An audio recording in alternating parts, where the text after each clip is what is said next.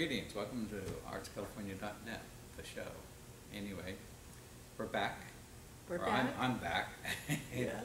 It was an exciting week last week up in the uh, Colfax area, and uh, one of the reasons why we didn't have a show. So, I'll show you a couple of pictures here about, uh, you know, smoky days in, in Colfax, and, The bottom line is your house survived. well, yes, it did. Yeah. did. And uh, that the other people have some, you know, good luck in getting their houses uh, back in order and all that. Anyway, uh, last week we talked about an opening here at the General Gomez. We kind of thought that there was going to be food from the Copper Top.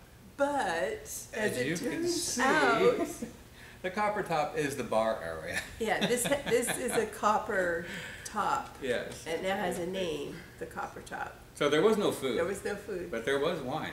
There was wine, yeah. I was I arrived hungry because I thought there was gonna be Food food. from the Copper Top. Yes.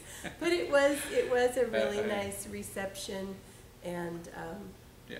I think it's the beginning of good things Good. to come. Good, good, Yeah. yeah. We, we wish them a lot of luck in the opening and, and, you know, Tracy, uh, deserves a big hand for putting all this all together along with her helpers, Mhm. which are too numerous to name at the moment. Anyway, I'd like to talk a little bit about the leaderboard.